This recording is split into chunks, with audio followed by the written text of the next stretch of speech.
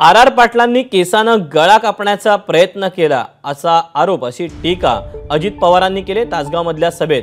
अजित पवारांनी दिवंगत R R पाटलांवर हा गंभीर आरोप केला सत्तर हजार कोटींच्या घोटाळ्याची चौकशी व्हावी यासाठी आर आर पाटलांनी फाईलवर सही केली असं देखील त्यांनी म्हटलेलं आहे. फडणवीसांनी मुख्यमंत्री झाल्यावर आर आर पाटलांची सही दाखवल्याचं देखील अजित दादा म्हणताय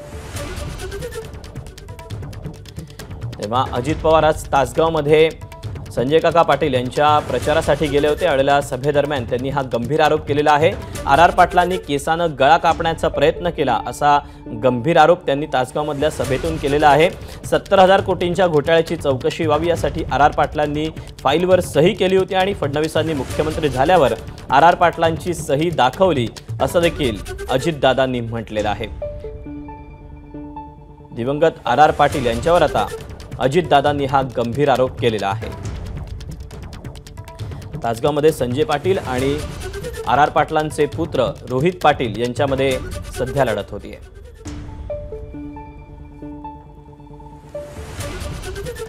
माझ्यावर आरोप झाले.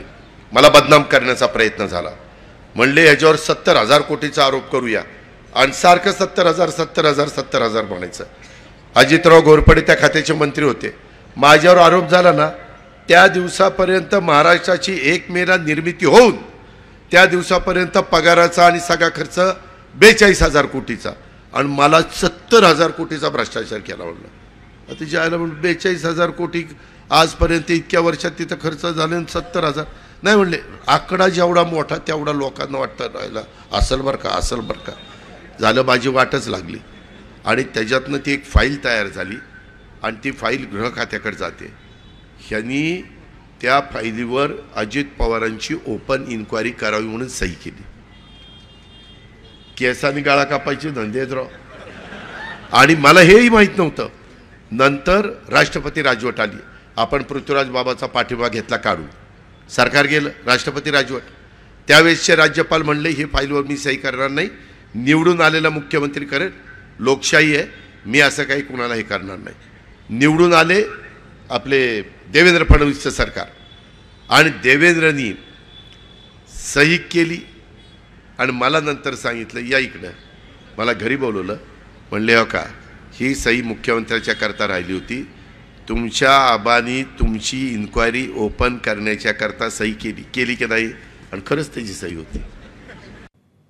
नंतरच्या काळामध्ये बिचाराला तो आजार झाला. आम्हाला त्यानं खोटं सांगितलं गाल सुजला गालफुगी झाली.